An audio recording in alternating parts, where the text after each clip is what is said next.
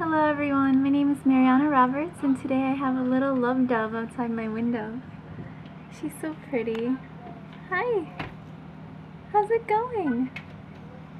You're so pretty. You're just sitting there outside my window.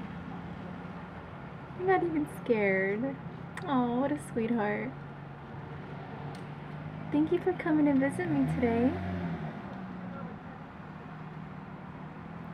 I love you, little love dove.